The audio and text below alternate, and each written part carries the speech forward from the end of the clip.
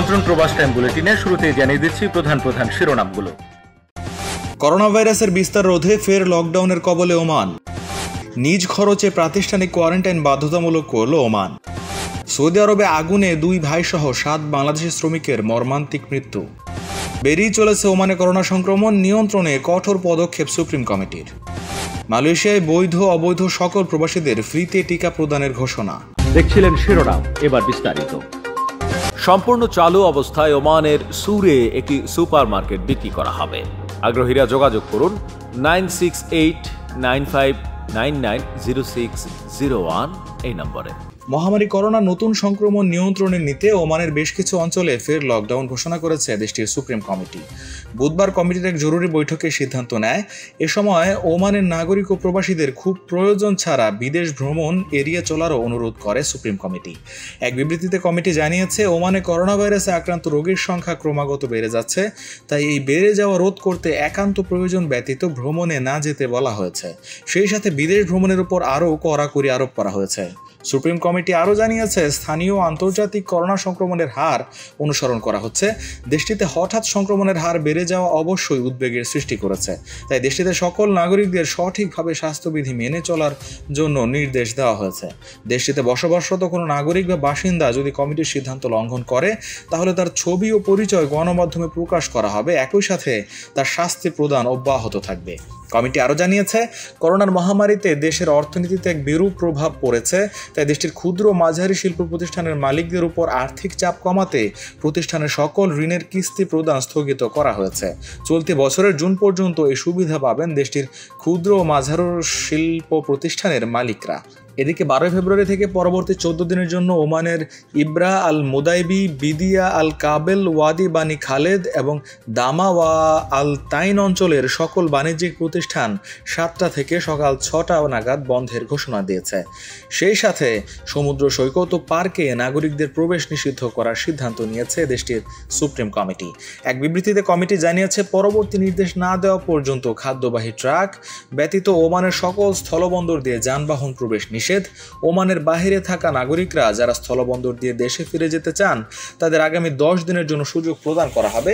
যে সকল নাগরিক স্থলবন্দর দিয়ে ওমানে প্রবেশ করবেন, তাদের কোয়ারেন্টাইন মেনে চলতে হবে। ওমান সুপ্রিম কমিটি দেশটির উত্তরা শার্কিয়া প্রদেশের সকল বাণিজ্যিক প্রতিষ্ঠান সকাল ছয়টা থেকে সন্ধ্যা অবধি খোলা থাকবে। বাকি সময় বন্ধ রাখার আইন জারি করেছে।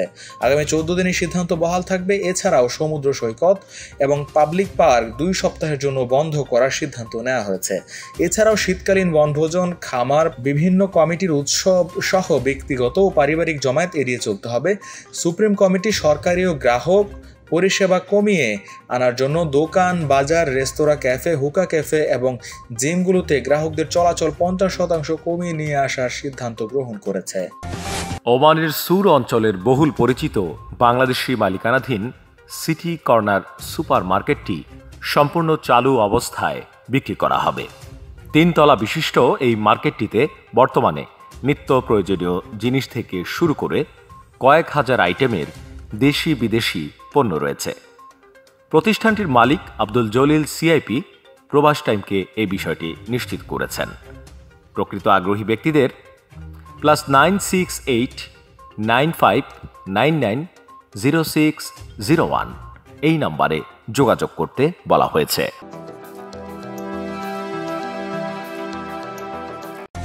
মহামারী করোনা নতুন সংক্রমণ রোধে ওমান সুপ্রিম কমিটি নতুন নির্দেশনা জারি করেছে। বুধবার সুপ্রিম কমিটির এক জরুরি বৈঠক অনুষ্ঠিত হয়। এতে বলা হয়েছে, এখন থেকে ওমানে আগত সকলের জন্য প্রাতিষ্ঠানিক কোয়ারেন্টাইন বাধ্যতামূলক। হোম কোয়ারেন্টাইনের নিয়ম বাতিল করে সকলের জন্য বাধ্যতামূলক প্রাতিষ্ঠানিক আইন জারি করা হয়েছে। সেই সাথে প্রাতিষ্ঠানিক কোয়ারেন্টাইনের খরচ নিজেদের বহন করতে হবে বলেও উল্লেখ করা হয়। এদিকে ওমানে আগামী এক সপ্তাহের মধ্যে ওমান করোনা ভাইরাসের নতুন শ্রেণি আক্রান্ত সন্দেহভাজন দুশো জন রোগীর নমুনা পরীক্ষার ফলাফল জানা যাবে বলে জানিয়েছে দেশটির স্বাস্থ্য মন্ত্রণালয়। মন্ত্রণালয়ের এপিডেমিওলজিক্যাল বিভাগের পরিচালক doctor Adel Al Wahaibi Oman টিভিতে দেয়া এক সাক্ষাৎকারে বলেন করোনা ভাইরাসের নতুন শ্রেণি আক্রান্ত দুশো জন সন্দেহভাজন রোগীর নমুনা নেওয়া হয়েছে। আশা করা যাচ্ছে আগামী সপ্তাহের মধ্যেই তাদের ফলাফল হাতে পাওয়া যাবে। আল ওয়াহিবি আরও জানান করোনা আক্রান্ত রোগীদের মতোই নতুন শ্রেণির সংক্রমিত রোগীদের কোয়ারেন্টাইনে রাখা হয়েছে। তাদের নমুনা নেওয়া হয়েছে। নমুনার ফল হাতে পেলেই জানা যাবে তারা করোনা নতুন শ্রেণি আক্রান্ত কিনা। সাম্প্রতিক সময়ে ওমানে করোনায় আক্রান্ত নতুন রোগীর সংখ্যা ক্রমাগত বাড়ছে। তবে ডাক্তার আল ওয়াহাইবি জানিয়েছেন যে, বর্তমানে দেশটির তরুণ নাগরিকদের সংক্রমণের সংখ্যা বাড়েনি। হাসপাতালে করোনা রোগী ভর্তির সংখ্যা ক্রমাগত বেড়ে যাওয়া অবশ্যই উদ্বেগ সৃষ্টি করেছে। তবে সকলে সঠিকভাবে স্বাস্থ্যবিধি মেনে চললে সংক্রমণের হার কমে আসবে। আল ওয়াহাইবি দেশে করোনা ভ্যাকসিন টিকা দেওয়ার বিষয়ে জানিয়েছেন যে, দেশটির স্বাস্থ্য মন্ত্রণালয় এই বছরের প্রথমার্ধে বিশ শতাংশ জনগণকে টিকা দেওয়ার লক্ষ্যে কাজ করে যাচ্ছে। আশা করা যাচ্ছে এই বছরের মাঝামাঝির মধ্যে আমরা আমাদের লক্ষ্যে উপনীত হতে পারব। আমরা এখনও টিকাদান কর্মসূচির প্রথম পর্যায়ে রয়েছে। এখন পর্যন্ত দেশে ফাইজার বায়োটেক ভ্যাকসিন প্রদান করা হয়েছে দু হাজার চারশো একচল্লিশ জনকে। আমরা পঞ্চাশ হাজার নাগরিককে টিকা প্রদান করতে পারব বলে আশা করছি।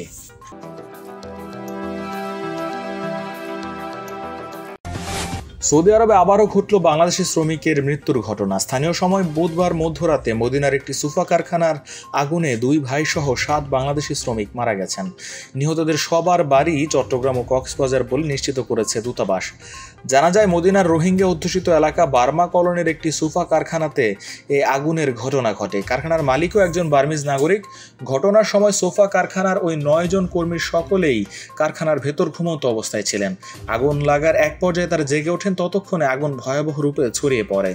কারখানা থেকে বের হবার পথও আগুনের কবলে বন্ধ হয়ে যায়। নয় জন মানুষ ভেতরেই প্রাণ হারান। বুধবার রাতে বিষয়টি নিশ্চিত করেছে বাংলাদেশ দূতাবাস। প্রাথমিকভাবে কয়েকজনের পরিচয় জানা গেছে, বাকিদের পরিচয় নিশ্চিত করতে কাজ করছে দূতাবাস। নিহতদের মধ্যে কক্সবাজার জেলার টেকনাফের তিনজন, চট্টগ্রাম দক্ষিণ জেলা লোহাগাড়া থানার তিনজন ও রামুর একজন আছে বলে প্রাথমিকভাবে জানা গেছে।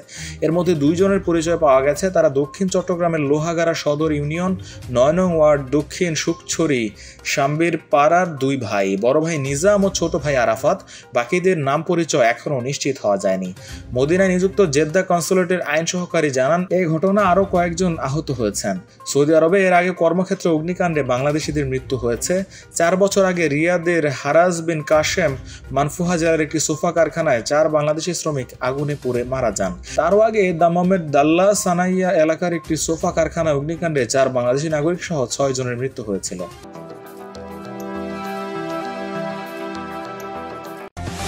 ওমানে কোনোভাবেই লাগাম টানা যাচ্ছে না মহামারী করোনার। দিন দিন বেড়েই চলেছে নতুন সংক্রমণের সংখ্যা। করোনা নিয়ন্ত্রণ নিতে হিমশিম খাচ্ছে দেশটির সুপ্রিম কমিটি। একের পর এক নতুন আইন জারি করেও কোনো সমাধান না পেয়ে সবশেষে আগামীকাল থেকে দেশটির বেশ কিছু অঞ্চলে ফের লকডাউন ঘোষণা করা হয়েছে। বৃহস্পতিবার ওমান স্বাস্থ্য মন্ত্রণালয় দেওয়া তথ্য মতে গত চব্বিশ ঘন্টায় নতুন আক্রান্তের সংখ্যা দুশো পঁয়তাল্লিশ জন, যা গতকালের তুলনায় পঞ্চান্ন জন বেশি আক্রান্ত আজ। এদিকে গতকালের তুলনায় বেড়েছে মৃতের সংখ্যাও। নতুন দুই জনের মৃত্যু সহ মোট মৃতের সংখ্যা এক হাজার পাঁচশো উনচল্লিশ জন।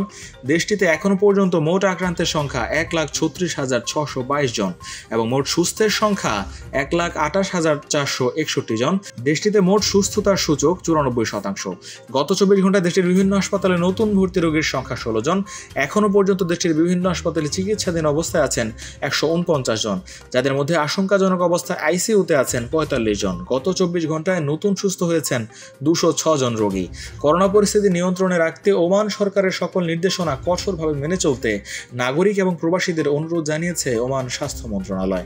এদিকে করোনা ভাইরাসের বিস্তার রোধে আজ থেকে দেশটির পর্যটন স্পট দাইমিনিয়া দ্বীপপুঞ্জে রাত্রি যাপন বন্ধ করে দেওয়া হয়েছে। একই সাথে আগামী দুই সপ্তাহের জন্য দেশটির সমুদ্র সৈকত এবং পাবলিক পার্ক বন্ধ ঘোষণা করেছে সুপ্রিম কমিটি। আজ এক বিবৃতিতে এই তথ্য জানিয়েছে দেশটির পরিবেশ কর্তৃপক্ষ।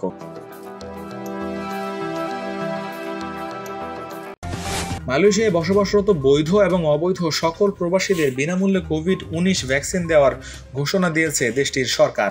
এমনকি এই টিকা কার্যক্রমে শরণার্থী রোহিঙ্গারাও বাদ যাবে না।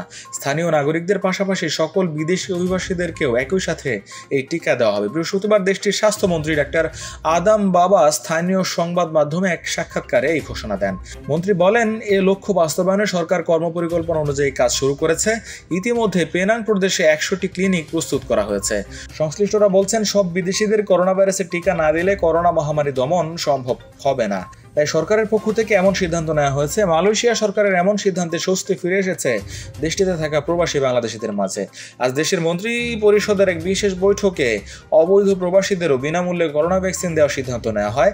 সরকারের পক্ষ থেকে বলা হয়েছে, ফাইজার বায়োটেকের তৈরি করোনা ভ্যাকসিন চুক্তি অনুযায়ী ক্রয় সম্পন্ন করা হয়েছে। আশা করা যাচ্ছে, চলতি মাসের শেষ সপ্তাহে এই টিকার প্রথম চালান দেশটিতে এসে পৌঁছাবে।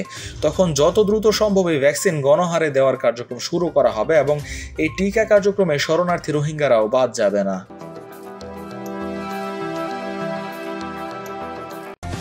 ওমানে বেসরকারি খাতের বিভিন্ন প্রতিষ্ঠানকে সরকারি আর্থিক সহায়তা প্রদানের লক্ষ্যে নতুন প্রকল্প ঘোষণা করেছে দেশটির শ্রম মন্ত্রণালয়। দেশটির সকল খাতে ওমানিকরণের লক্ষ্যে নতুন এই প্রকল্প গ্রহণের সিদ্ধান্ত নিয়েছে বলে জানানো হয়েছে আজ এক বিবৃতিতে।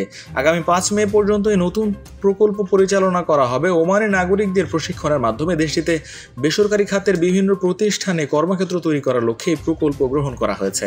নতুন যে বেসরকারি খাতগুলোতে ওমানি নাগরিকদের প্রশিক্ষণের মাধ্যমে কর্মক্ষেত্র তৈরি করা হবে সেগুলো হলো, গাড়ির এজেন্সি ও ব্যবহৃত যানবাহন বিক্রি প্রতিষ্ঠান হিসাব রক্ষক পেশা, বিমা সংস্থার আর্থিক ও প্রশাসনিক পেশা, গাড়ি এজেন্সির সাথে যুক্ত নতুন যানবাহনের খুচরা যন্ত্রাংশ বিক্রয়ের দোকান, শপিং সেন্টার, মানি এক্সচেঞ্জের মতো দোকানের হিসাব রক্ষক পেশায় অথবা অপটিক্স বা চশমা বিক্রয়ের দোকান। এদিকে মন্ত্রণালয় জানিয়েছে যে আর্থিক সহায়তা পাওয়ার জন্য প্রয়োজনীয় সময়সীমার মধ্যে বেসরকারি খাতের সংস্থাগুলোকে আবেদন জমা দিতে হবে। আবেদনপত্রের উপর নির্ভর করে অগ্রাধিকার ভিত্তিতে এই আর্থিক প্রণোদনা দেওয়া হবে। সম্পূর্ণ চালু অবস্থায় ওমানের সুরে একটি সুপার মার্কেট বিক্রি করা হবে। আগ্রহীরা যোগাযোগ করুন nine six eight nine five nine nine zero six zero one. এই নম্বরে। এই ছিল প্রবাস টাইম বুলেটিনের আজকের আয়োজনে। যে কোনো খবর পেতে ভিজিট করুন প্রবাস টাইম ডট কম, সাবস্ক্রাইব করুন প্রবাস টাইমের ইউটিউব চ্যানেল। সাথে থাকায় ধন্যবাদ সবাইকে।